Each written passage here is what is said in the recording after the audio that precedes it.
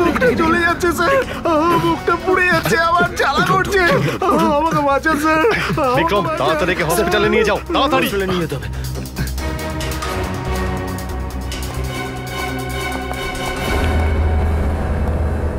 Sir লকারের মধ্যে bomb রাখা ছিল। বিশালকে মারার জন্য। ডক্টর সালুক একটু দেখুন তো।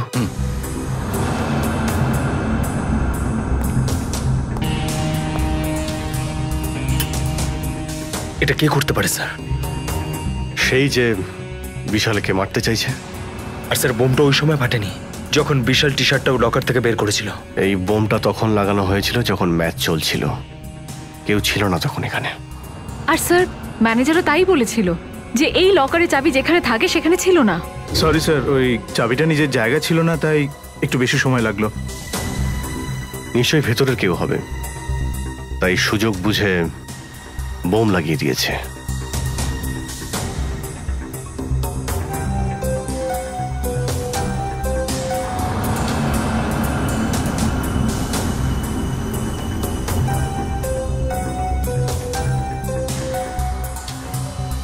অভিজিৎ এই লকারটাকে ফরেন্সিক ল্যাবে নিয়ে গিয়ে ভালো করে চেক করতে হবে। ঠিক আছে স্যার আমি এটাকে ফরেন্সিক ল্যাবে পাঠাচ্ছি। স্যার লকারে বম লকারে বম কি করে এলো স্যার? আপনারা খেয়াল করেননি আর লকারে কেউ বোম ফিট করে চলে গেছে। কিন্তু স্যার এসব কখন আর কীভাবে হলো জানতেই পারিনি। দেখুন এটা বলে আপনি আপনার গাফিলতি রাখতে পারেন না। আচ্ছা এটা বলুন যে ম্যানেজারের এখান থেকে চাবি নিয়ে পৌঁছতে এতটা সময় কেন লাগল? চাবি আপনি কোথায় রেখেছিলেন? স্যার সেই সময় আমি রিসেপশনে ছিলাম না। কিন্তু যখন আমি এখানে আসি তখন আমি দেখি যে ম্যানেজার স্যার চাবি নিয়ে লকারের দিকে যাচ্ছে। মানে আপনি এটা জানেন না যে ম্যানেজারের এত টাইম কেন লাগল চাবিটা আনার জন্য? না স্যার কোনো ব্যাপার নয়। ম্যানেজারকে জিজ্ঞেস করি। আরে ভাই এখানে কেন নিয়ে এলি আমাদের? ফলো মি জাগিরা আমার বন্ধু কেমন আছিস? আরে সাবধান। সরি সরি সরি সরি আরে ভাই দেখ কি অবস্থা হয়েছে আমার। এখন আমি কোনো কাজ করতে পারি না। আরে এরা তোর শরীরে খোঁজ নিতে এসছে ভাই সব আমার। বিশালকে খুন করে এখানে এসে শুয়ে আছিস হ্যাঁ? নাটক করছিস তুই তাই না? না স্যার। আহ, জাগিরা তোমার কি অ্যাক্সিডেন্ট হয়েছে নাকি হ্যাঁ?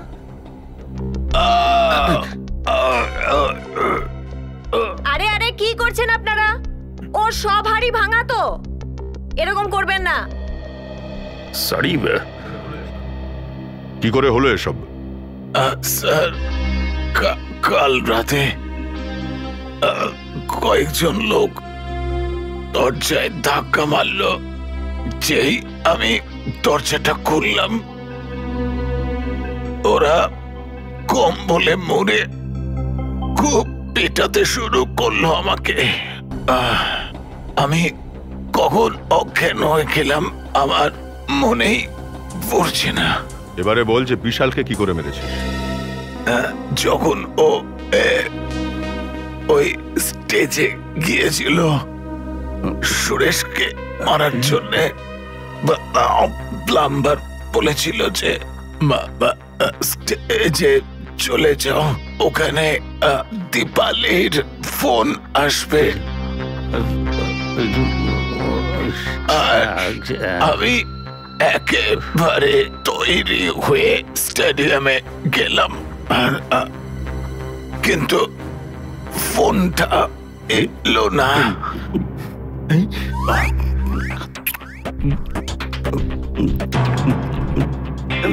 আমি তখন ফেরত চলে গেলাম।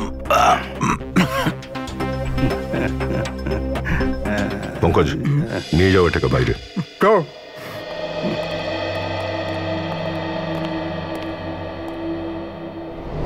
এখন কেমন আছেন হ্যাঁ? ভালো আছি স্যার।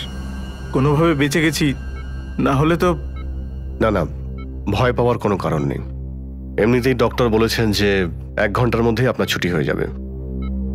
আচ্ছা এটা বলুন যে চাবিগুলো কোথায় রাখা ছিল? যেটা আনতে এত টাইম লেগে গেল? ওই লকারের চাবিটা আমি একটা ফ্লাওয়ার পটে পেয়েছি। ফ্লাওয়ার পটে হ্যাঁ স্যার। আচ্ছা এমনিতেই এই চাবিগুলো থাকে কোথায়? স্যার চাবি তো খেলোয়াড়দের কাছেই থাকে। কিন্তু হ্যাঁ স্যার ওদের ডুপ্লিকেট চাবিগুলো রিসেপশনেই থাকে। ডুপ্লিকেট চাবি রিসেপশনে থাকে। আর ওখান থেকে গায়েব।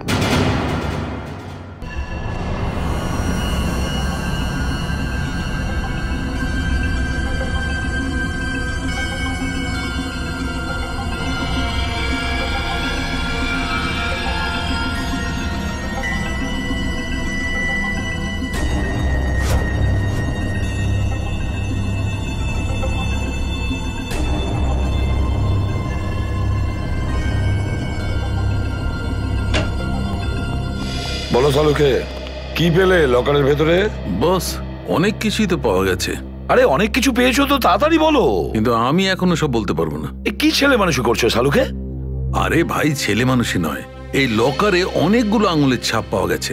এক একটা আঙুলের ছাপকে তুলে এনে ভালো করে চেক করলে তবেই তো বলতে পারব না? ঠিক আছে ঠিক আছে। ওই পুড়ে যাওয়া লেটারটা সেটার কি হলো? ওই পুড়ে যাওয়া লেটারটারও কেমিক্যাল অ্যানালাইসিস চলছে। কিছুটা সময় লাগবে বস। স্যার হ্যাঁ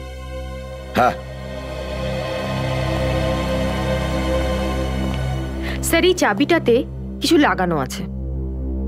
কি লেগে আছে? সাবান। চাবির গায়ে সাবান লাগানো আছে? আচ্ছা। চাবির গায়ে সাবান? দেখো সালুখে চাবিতে তো সাবান সেই লাগাবে তাই না? যে এটা ডুপ্লিকেট চাবি বানাতে চায়, সাবানের ওপর চাপ মেরে এর ছাপটা তুলে নেয়। খোঁজ নাও। আশেপাশে যে কয়জন চাবির কারিগর আছে, ওদেরকে জিজ্ঞাসাবাদ করো।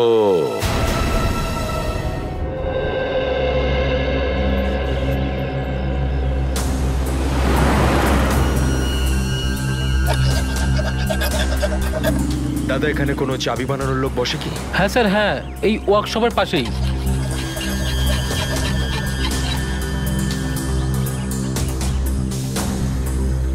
চাবি আর্জেন্ট স্যার। একটু সময় লাগবে। তাড়া থাকলে অন্য কোথাও করিয়ে নিন। চাবি বানাতে আসেনি। চাবির ব্যাপারে জিজ্ঞেস করতে এসেছি। আমাকে দেখে কি গল্প করার লোক মনে হচ্ছে? কীভাবে কথা বলছো তুমি হ্যাঁ? আমরা সিআইডি অফিসার সিআইডি আরে আপনাদেরকে কেন বলব না স্যার? আপনারা তো এমনিতেও কথা বের করে নেবেন। বদনাম আছে। আরে না স্যার। আপনাদের বদনাম এই মুখ দিয়ে কি করে করতে পারি? ভয় পাচ্ছ সিআইডি কে? হ্যাঁ? কে ভয় পায় না স্যার? অন্যায় করলে তো ভয় পেতেই হবে। তুমি তো অন্যায় করেছ না? কি স্যার? এর মধ্যে একটা লোক এসেছিল সাবানে চাবির ছাপ নিয়ে। হ্যাঁ স্যার।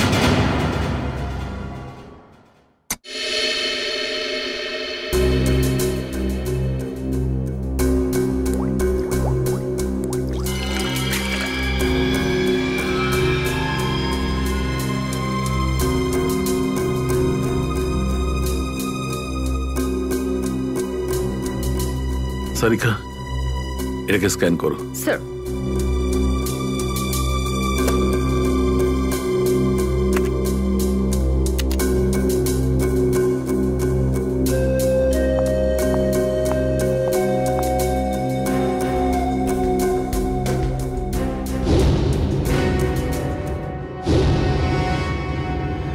তা তুমি চাবিটা বানিয়েছিলে বানিয়েছিলাম স্যার আচ্ছা ওই যে লোকটা সাবানে করে ছাপটা নিয়ে এসেছিল তাকে চিনতে পারবে? চিনতে পারব স্যার সামনে দেখতে পেলে। কিন্তু স্যার লোক নয় একজন মহিলা ছিল। কি?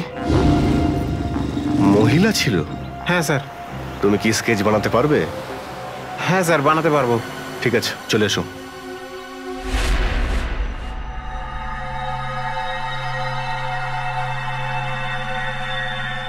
এটা তোমার শেষ ম্যাচ। শুধু এটাই বোঝা যাচ্ছে।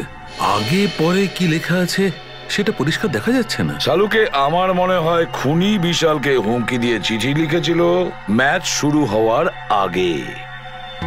স্যার কিন্তু এই বিশাল কাউকে বলেনি কেন যে ওর প্রাণ সংশয় রয়েছে? সেটাই তো সেটাই তো।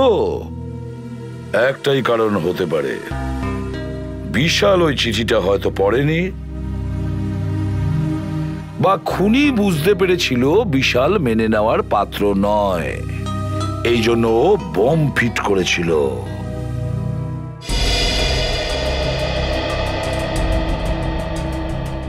মুখটা একটু গোল। চুল লম্বা।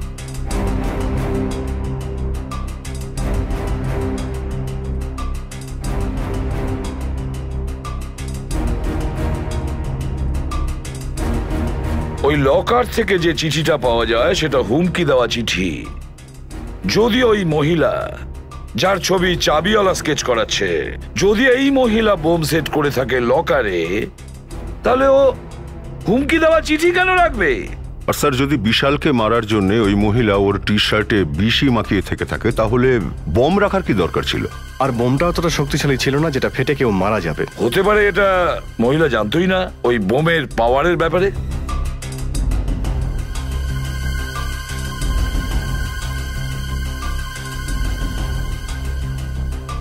টিপটা একটু বড় ছিল।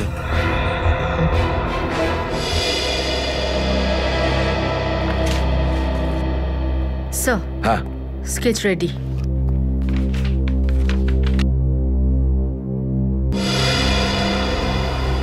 স্যার এ তো এ তো মহাকান্তা।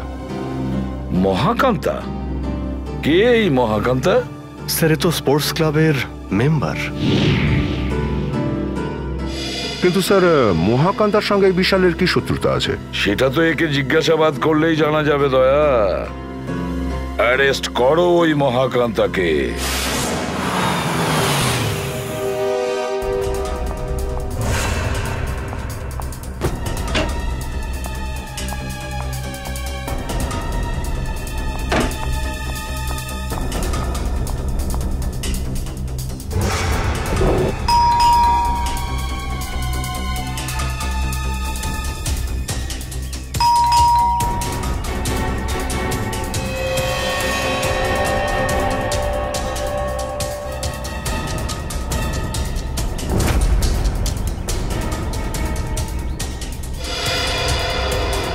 কি হয়েছে স্যার? পঙ্কজ মহাকান্তা ভেতরে আছে কিন্তু জেনে শুনে দরজাটা খুলছে না। কি বলছেন কি? কই স্যার? আমি তো কিছুই দেখতে পেলাম না। কিন্তু ভেতরে আছে আমি দেখেছি। স্যার যদিও ভেতরে থাকে তাহলে এটাই সুযোগ। আমরা দুজন ভেতরে যাই আর ওকে গিয়ে ধরে নিয়ে চলে আসি। দয়া স্যার এটা দেখে খুব খুশি হয় আর আমাদের প্রমোশন করিয়ে দেবেন। ও সেসব তো ঠিকই আছে কিন্তু এই দরজাটা খুলবে কে বলতো? দয়া স্যারের নাম দিয়ে স্যার। নামে অনেক শক্তি থাকে স্যার। নামে শক্তি? আরে স্যার এভাবে কি হলো? হাওয়া ফুঁস হয়ে গেল? বল। স্যার এসিপি স্যার আপনার পেছনে দাঁড়িয়ে। এসবি স্যার কেন? Hello sir. দেখলেন আপনি স্যার? এসিপি স্যারের নাম শুনে যদি আপনার মতো বাহাদুর লোক ভয় পেয়ে যায়, তাহলে এই দরজাটা তো একটা কাঠের। দয়া স্যারের নাম শুনে তো ভেঙে টুকরো হয়ে যাবে পুরো। চলুন ভাঙি, স্যার।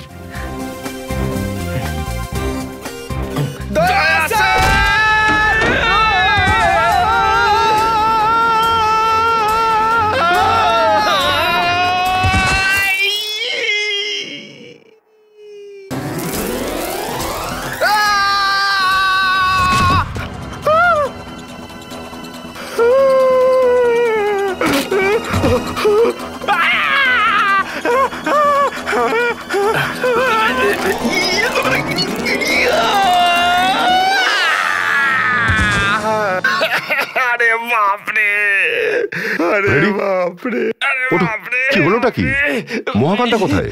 আরে মহাকান্তার সর্বনাশ হোক। ঘরে ঢোকা মাত্র এইসব স্লিপ করে গেলাম আমি। আর পঙ্কজ কোথায়?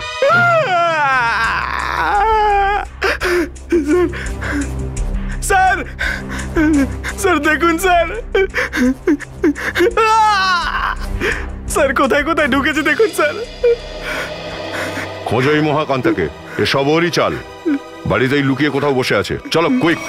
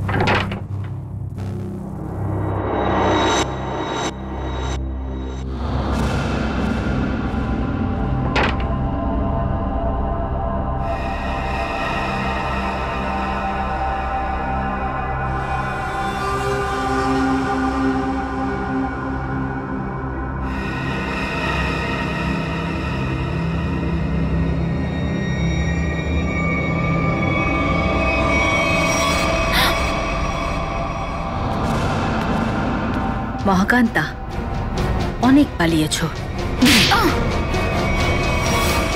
স্যার আমি কি করেছি? আপনারা আমাকে কেন ধরলেন? বিশালকে খুন করেছ তুমি নিজে। স্যার আপনারা আমার উপর ভুল অভিযোগ দিচ্ছেন। আমি ওকে মারিনি।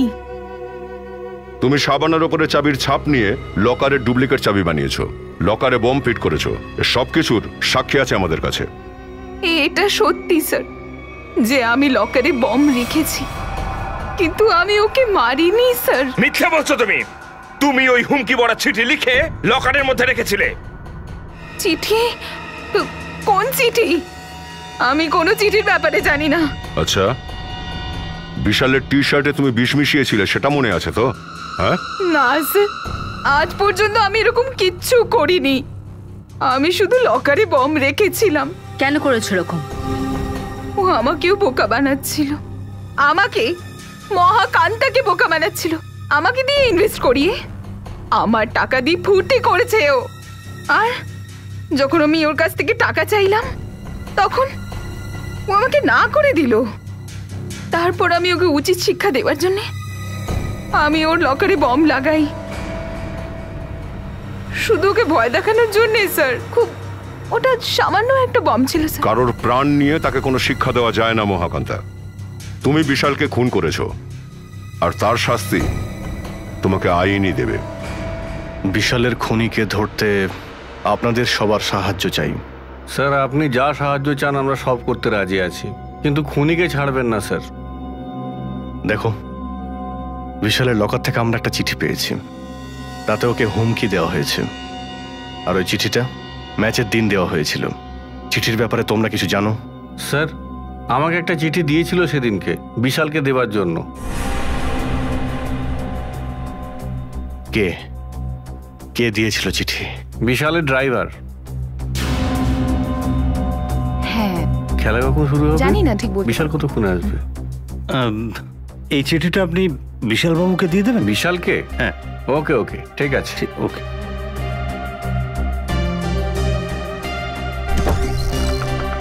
আরে বিশাল তোর ড্রাইভার এই চিঠিটা দিয়ে গেল বলল কিছু আর্জেন্ট ব্যাপার।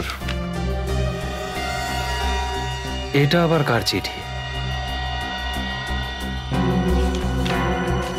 আরে তোমরা কি করছ কি এখানে? কত সময় নিচ্ছ? কোচ সবার জন্য অপেক্ষা করছেন। তাড়াতাড়ি চলো। জাস্ট দু মিনিটে আসছে। কমন গাইজ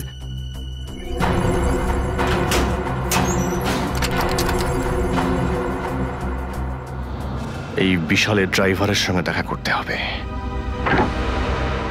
আপনারা এভাবে আমাকে কোনো প্রমাণ ছাড়া গ্রেপ্তার করতে পারেন না। ওয়ারেন্ট দেখান। দেখাবো সব দেখাবো। চলো। চল আমি আদালত যাব। আপনারা এভাবে আমাকে দুর্বল মনে করে আমার সাথে গায়ে চুরি করছেন। দুর্বল ভালো মোটা সোটা একটা লোক। চলো চল। ছেড়ে দিন আমায়। আমি আমি কিচ্ছু করিনি। চলো। ছেড়ে দিন। আমি কিছু জানি না। ছেড়ে দিন। স্যার এ ওয়ারেন্ট দেখতে চায়। কে? ওয়ারেন্ট দেখতে চাস? না স্যার। মারধর করবেন না স্যার। তাহলে বলো। বিশাল খুন হওয়ার আগে লকারের ভেতরে তুমি বিশালকে হুমকি দেওয়া চিঠি দিয়েছিলে?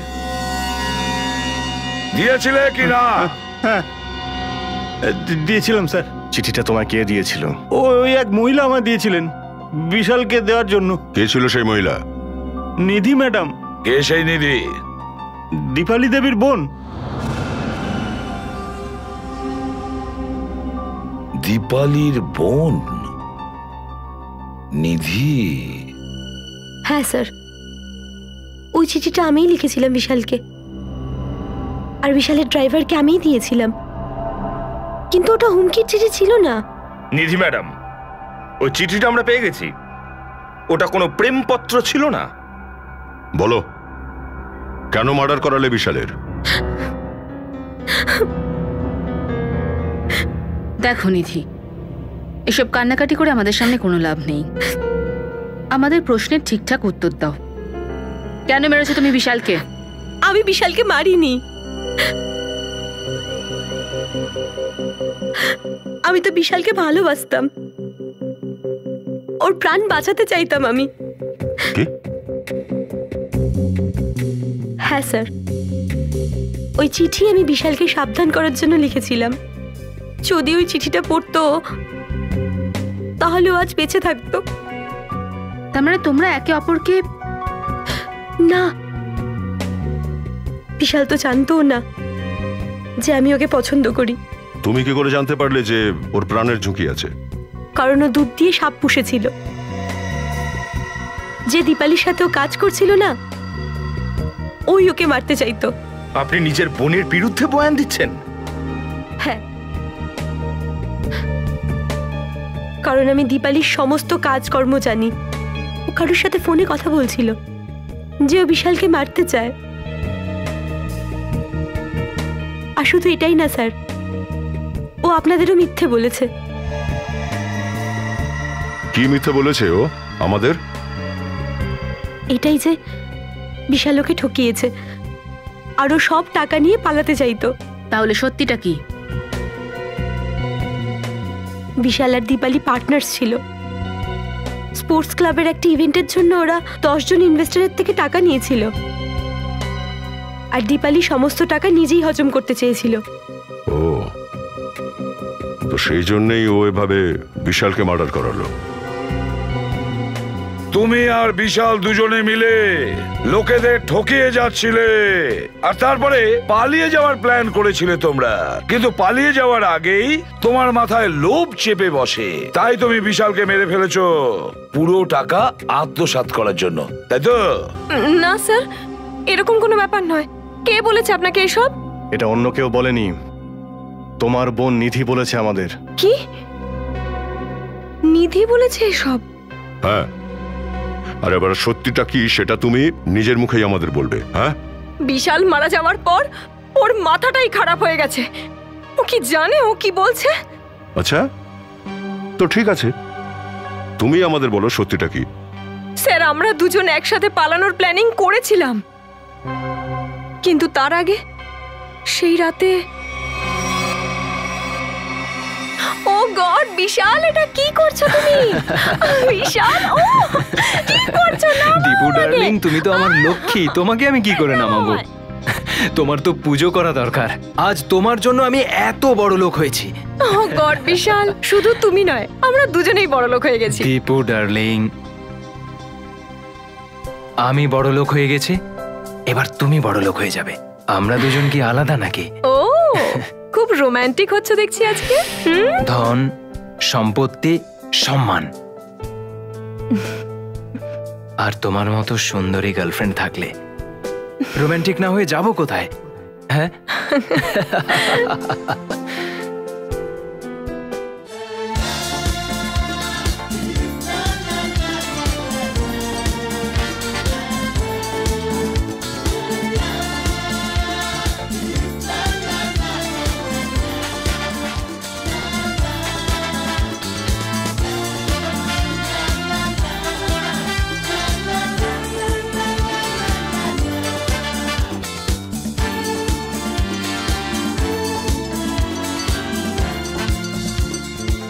বিশাল।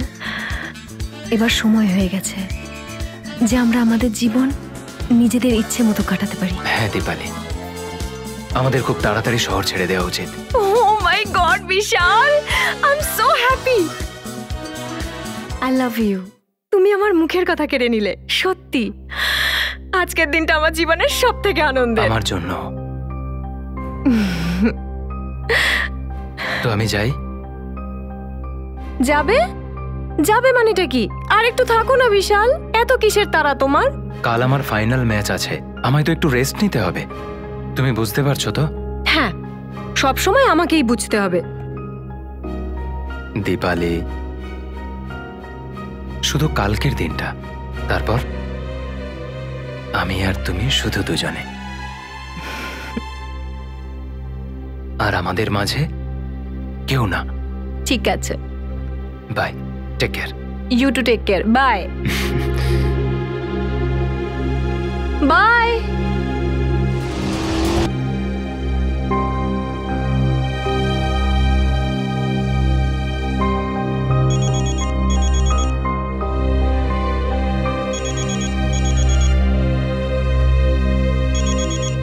Vishal যদি তোমার ওখানে মন না লাগে তুমি ফিরে আসতেই পারো। কোনো ব্যাপার নয়। শোনো দীপালি তুমি আর বিশাল দুজনে আমাকে বোকা বানিয়েছো। আমি তোমাদের দুজনকে ছাড়বো না।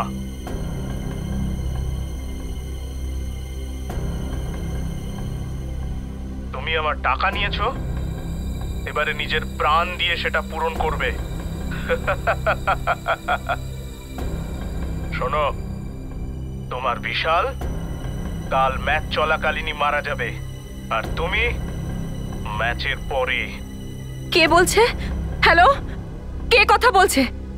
হ্যালো? স্যার, ওই খুনির হাত থেকে যাতে বাঁচতে পারি, আমি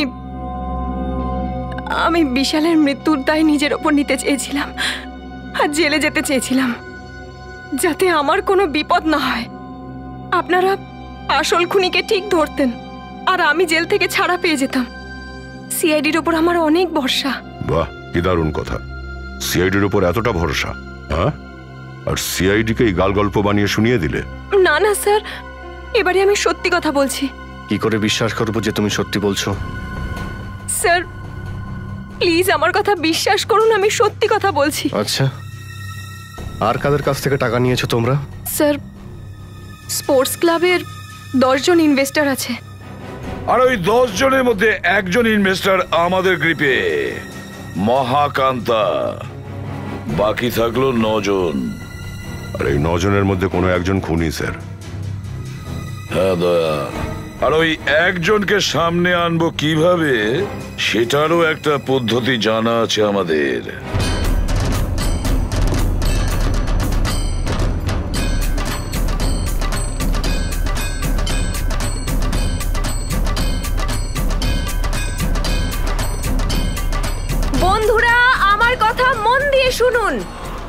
দারিদ্রতা ভুলে যান।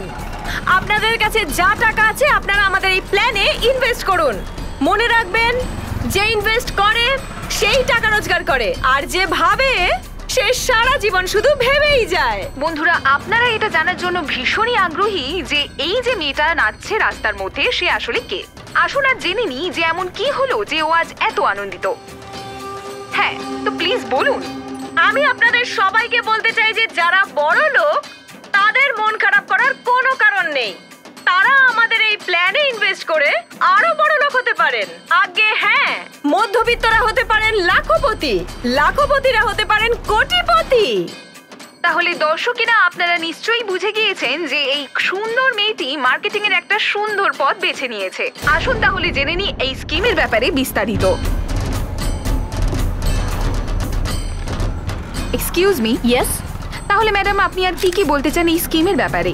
আমি আমার এই স্কিমের বিষয়ে অনেক কিছু বলতে চাই। আমি সবার আগে এটা বলতে চাই যে কালকে স্টেডিয়ামে খুব বড় একটা চ্যারিটি ইভেন্ট হতে চলেছে। বন্ধুরা, প্রত্যেকবারের মতো এবারেও বিশালের ভাই একটা অ্যামেজিং প্ল্যান করেছে। ইনভেস্টমেন্টের কথা মাথায় রেখে। যেরকমটা উনি আগেও করেছিলেন। আমি আপনাদের সবাইকে একটা কথাই রিকোয়েস্ট করব, যে কালকে আপনারা সবাই স্টেডিয়ামে আসুন। এক বছরে আপনাদের টাকা হয়ে যাবে দশ গুণ বেশি। আসুন আমাদের প্ল্যানে ইনভেস্ট করুন আর বড়লোক হয়ে যান।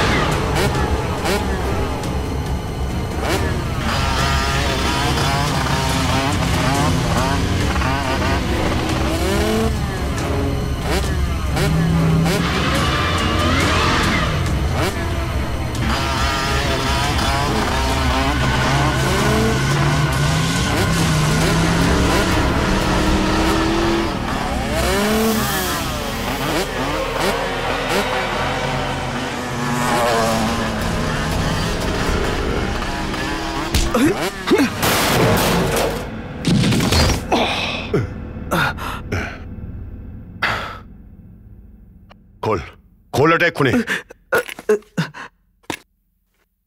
ও তো তুই তাহলে। বল বিশালকে কেন খুন করেছিস? স্যার দীপালি আর বিশাল আমাকে এক বছরে তিন গুণ টাকা দেওয়ার কথা দিয়েছিল। ওরা আমার সারা জীবনের সমস্ত রোজগার নিয়ে নিল। আর আর একদিন যখন আমি ওদের দুজনকে ওদের দুজনকে কথা বলতে শুনলাম যে আই লাভ ইউ দীপালি তোমার চেয়ে বড় একটা হতেই পারে না। এটা আমি মানছি। আচ্ছা তুমিও কিন্তু খুব ভালো অ্যাক্টিং করো। তুমিও কম যাও না কিন্তু। আমরা সত্যি লোকেদের খুব বোকা বানাই না? হুম ঠিক বলেছ। কেউ তো আর এমনি এমনি এসে টাকা দিয়ে দেবে না।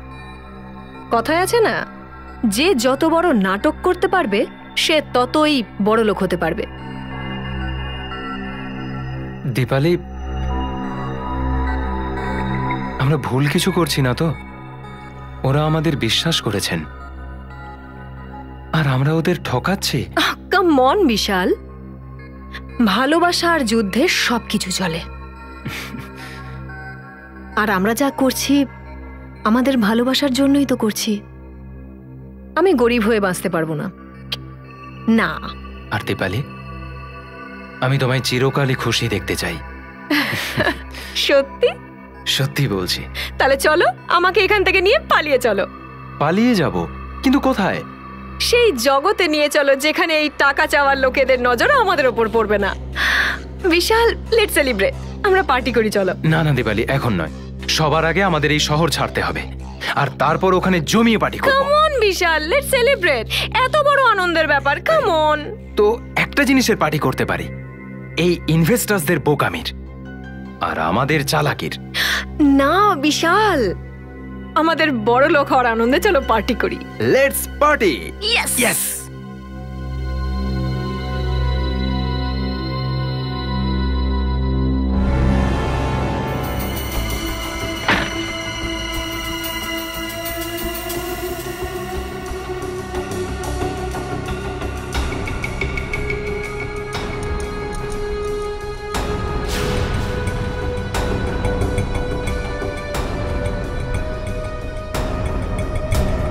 খুব চালাক তোমরা।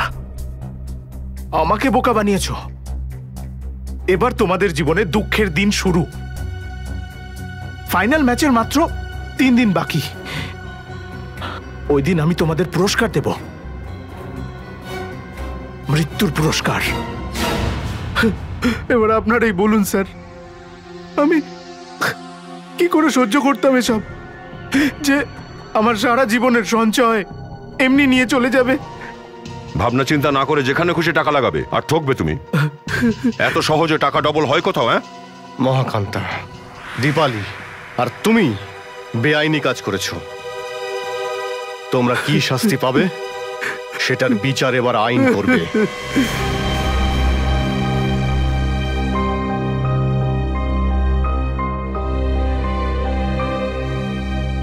গার্লস গার্লস এটা দেখো। বেস্ট পিস এটা ওকে খুব মানাবে তাই না? এটা এটা দেখ এটা কেমন লাগবে? ওয়াও লাভলি কালার হ্যাঁ? নাইস এটা ট্রাই করে দেখ। কীরকম এটা? লাগছে? লেটেস্ট ফ্যাশন ম্যাম কি চয়েস আপনাদের? তাই না? ভালো এটা। শোন না আমি একদম বুঝতে পারছি না যে আমি কি নি হে ঈশ্বর। শ্রেয়া পুরো দোকানটা দেখা হয়ে গেছে রে। কিছু তো একটা পছন্দ কর। ট্রাই করে দেখ। হুম নে ট্রাই কর।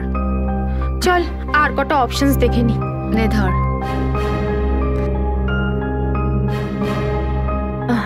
দাদা দাদা ওইটা দেখা দেখান না। দেখান তো একটু? হ্যাঁ দেখাচ্ছি। হ্যাঁ এটাও ওটা। কিন্তু খুব ভালো লাগবে আপনাদের।